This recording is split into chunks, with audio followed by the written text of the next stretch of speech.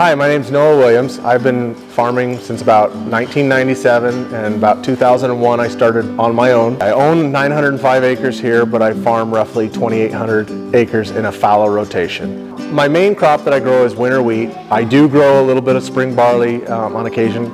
Really like the conservation side of the farming. I, I've really gotten more interested in it over the years, especially as I get older and I think of what I need to do to hand this down to the next generation. I don't want everything depleted. I want things sustainable and, and I know it can be done. And I know with the cover cropping, I've been told it can't work in our area, but I believe it can. Um, it's just, we're not gonna be able to do it how the Midwest does it. We, we're in a different rainfall area. We get our rains in the wintertime. It is possible for us to do it. It's just we have to change our mindset. Um, we have to look put maybe some blinders on, not listen to the naysayers, and just do it and try to find out what works for us. We're working with Noah Williams on all kinds of uh, conservation projects, but particularly ones that involve uh, soil health. And some of the things that Noah Williams has been particularly interested in is implementing cover crops on his operation.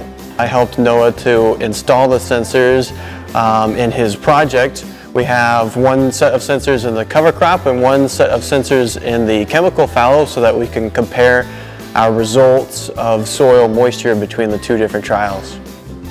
I always like being told I can't do something because that gives me determination enough to prove people wrong. So by using the soil moisture sensors, I can prove that it doesn't take all the moisture out of the ground. The expectation is that uh, we will gain a, a better insight about what's going on in the soil um, specifically about what's going on in the soil during fallow and during cover crops. Um, the information that we need to know is can we effectively use cover crops as a replacement of fallow in our, in our cropping rotation? And if, it, if so, when do we need to terminate cover crops so that we don't inhibit uh, our yield potential for the, for the consequent uh, uh, cash crop? I think managing the cover crops with cows is probably the best way to do it because you're, you're able to get nutrients, fertilization from the cattle. When the control and the cover crop, we knew exactly when they were almost identical. Um, and we're, what we're already seeing is every time we got a rain event, the cover crop actually picked up moisture in the deep root zone where the control does not. The control never picks up moisture in the two foot zone. And in two feet, that's your battery. That's where you're storing. But every time we have a stress event, the control doesn't handle the stress and the cover crop handles the stress. To me, that's a win. I, I, I think, okay, I, I'm, I'm changing things. I'm actually changing our, the normality of how we usually have seen things. If I wouldn't have had a cover crop there, the whole field would have stressed.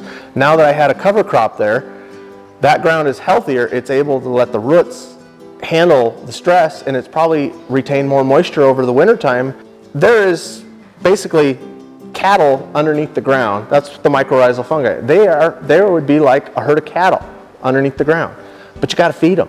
If you don't feed them, they're not gonna make anything for you under the ground. By doing this, I'm learning something. I'm, I'm, I'm, you know, I have numbers, I can tweak it. I can, okay, I went too long with this cover crop. Okay, I, I went too short.